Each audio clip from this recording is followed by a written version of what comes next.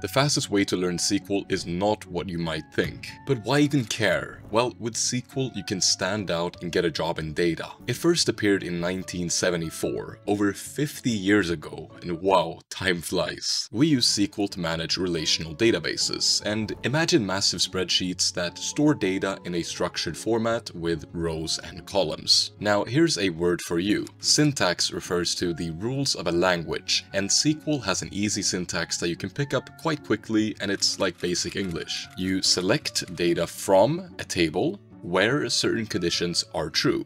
Simple, right? So why is everybody struggling to learn SQL? Well, the short answer is they lack a clear plan, or their plan just sucks. They dabble around and get stuck in a loop of learning, but not you after watching this video. So back to SQL. In Excel, you can modify your data manually. You just select one of the cells anywhere on the sheet and change it manually. But SQL is different, and it's a query language used to communicate with your database indirectly, where you'll write SQL code with instructions, which then tells the database what to do. And why is that the case, right? I mean, it sounds like you're overcomplicating things. Yes, at first, it is more complicated to write SQL. You have to learn a whole new language to do basic stuff. But in the long run, SQL becomes way more efficient because first of all, it can handle larger data volumes. And once you know the syntax, you can do some really cool stuff quickly. So now the first step in learning SQL is to install it on your computer.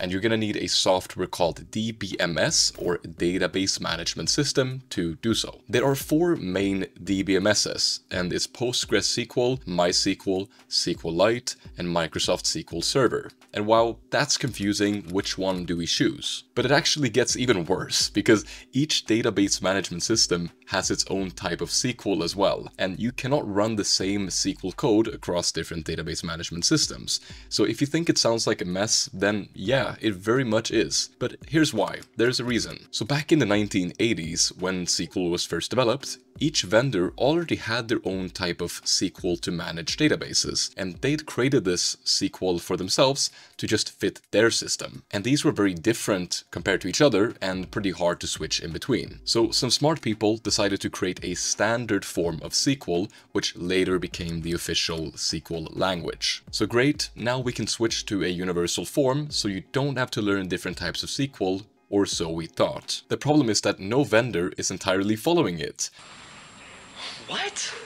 But thanks to the SQL standard, the differences are quite minimal nowadays, and it's pretty simple to go between them. And today, each version is called a SQL dialect. So back to the question, right? Which one should you choose? According to data from Stack Overflow, reporting on the most popular database technologies in 2024, number one was PostgreSQL, reported at 48%. We then have MySQL at 40% and SQLite at 33% and finally Microsoft SQL Server at 25%. So I recommend PostgreSQL because of X, Y, and Z. Okay, no, it's just popular. It's also close to standard SQL, and it's gonna be pretty easy to learn any form of SQL if you just need to. MySQL is also a great choice, a very popular one for beginners, and it doesn't really matter too much. Just get started with one. Moving to step 2. And the next big mistake people make is studying like you have an upcoming exam. Let's say that you're learning Spanish with a friend, and your friend is gonna read the textbook repeatedly, practicing every word of the textbook and spending hours and hours on grammar. That's gonna be a really terrible experience, but your friend has decided to do so. And you, on the other hand, will put yourself out there talking to native speakers, you'll sometimes struggle and feel stupid, ending up in awkward situations, but you'll use the language in real situations, watch movies, and Google up grammar or words when you need to. Who's learning faster, do you think? You don't need to remember every word or syntax for SQL, and you're gonna learn this stuff automatically as you practice, because you have to. So instead, I would focus on the fundamentals of databases and SQL theory when you get started, which includes how databases are made up and how SQL actually works.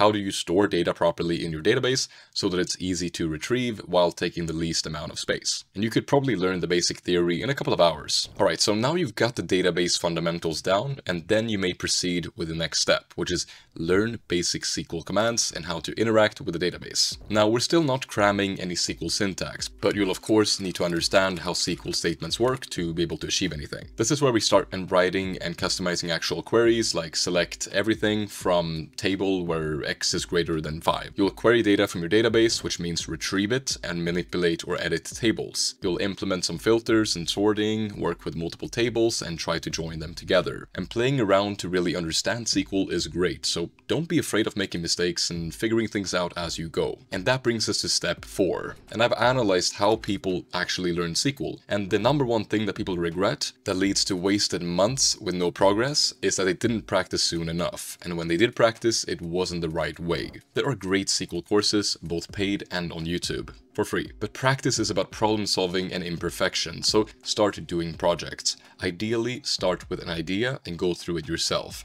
And when you don't know something, you'll have to find it. And so you will. And you're gonna learn so much from doing this. You can also do a guided projects as it's quite easy to start, where it's kind of like a project where the steps are already laid out for you. And you can follow along with the instructor over video. Now, I also like following a learning path and having a very clear goal. And hands-on practice is really the key when learning SQL, and that's why I'd choose DataCamp. DataCamp's SQL Fundamentals learning path covers everything you need to master SQL from beginner to advanced, all in one place. What I really like about the platform is that it's fully interactive, so you're not just watching tutorials, but you're actually working real projects and coding directly on their site, helping you learn by doing and really building confidence. DataCamp is sponsoring this video, and if you're serious about SQL, I highly recommend their SQL Associate certification, which is going to test your skills in SQL with a timed exam and also a real-world project to complete in 30 days. It's the perfect way to prove your abilities and take your SQL capabilities to the next level. So check the link in the description to join DataCamp for free and start working on your SQL certification. And now we're moving to part 6, and I'm going to answer the most important question ever to learn SQL. When is it enough? If you don't know when you've learned enough SQL, you'll never be done. You'll always be learning SQL and you'll be stuck learning SQL forever. And I mean, it's quite fun to practice SQL, but that doesn't sound so great. So I'm gonna give you the best answer that I can. If you know the fundamentals, you can pretty much Google just anything you don't understand, except for in the interviews. So here are three things that you'll be asked during interviews and you need to know these three things. Number one is gonna be database fundamentals. Do you understand the theory and how databases actually work? You don't have to be an expert,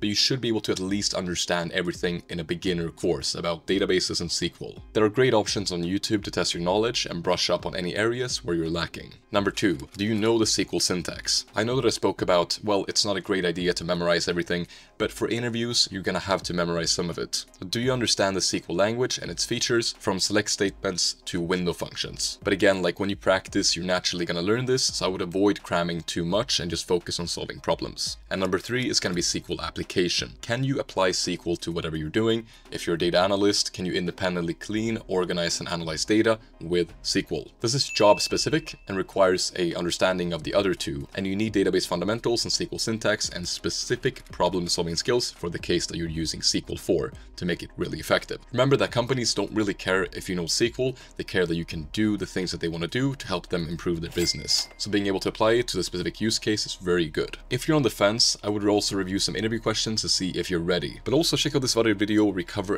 another SQL course that you might be interested in in detail and it's helped a lot of people learn SQL so you might want to check it out and uh, if not thanks for watching and I'll see you in the next one.